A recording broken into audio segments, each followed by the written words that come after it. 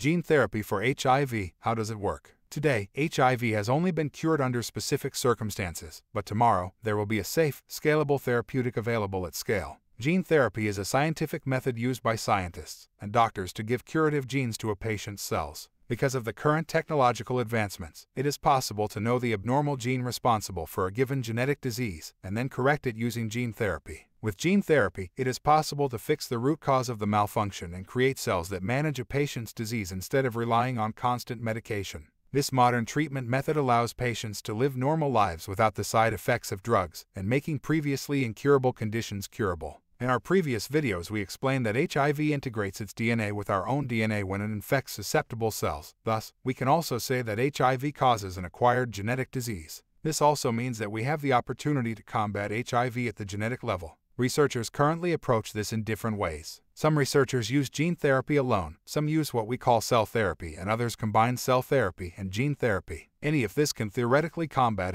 HIV infection. Let's show you how it will happen. For most people, exposure to HIV leads to infection. There are people whose immune cells are resistant to the HIV infection, and this is the secret weaknesses of HIV in providing researchers with a way to defeat the virus. Now let's explain how the gene therapy is done in a simple way. Note that this is a highly simplified explanation. Remember that HIV destroys our immune cells. Before HIV can enter our immune cells, the cells must have on its surface a receptor called the CCR5. The CCR5 on the surface of our helper T cells is an important part of a cell's susceptibility to HIV infection. So, doctors and scientists tested the hypothesis that says immune cells without CCR5 could resist HIV infection. The result was a miraculous cure of HIV.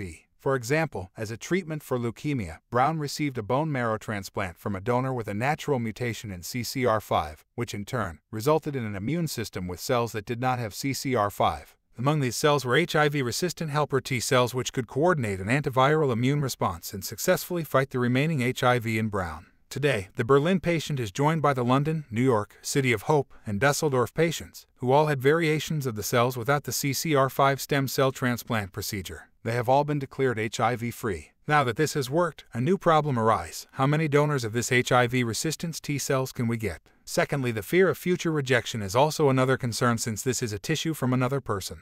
This problem necessitates another approach, called cell therapy, which is now being investigated by researchers. Cell therapy aimed to add additional layers of HIV protection. This additional layer of protection is achieved by 1. Re-engineering T cells from the patient and returning them back to the patient as cells that are resistant to HIV. 2. Using helper T cells which have been given specialized anti-HIV genes. And a third layer of protectin added by using subset of T cells which recognize HIV antigens. Helper T cells are central to the adaptive immune system and the primary target of HIV infection, so protecting these cells allows them to coordinate an anti-HIV response without simply becoming infected. Using the right cell culturing techniques, we can take normal T cells from the body, selectively expand the subset of T cells which recognize HIV antigens, and then make the enriched T cells resistant to HIV. The result is a population of HIV-resistant T cells which are enriched in their capability to overcome HIV.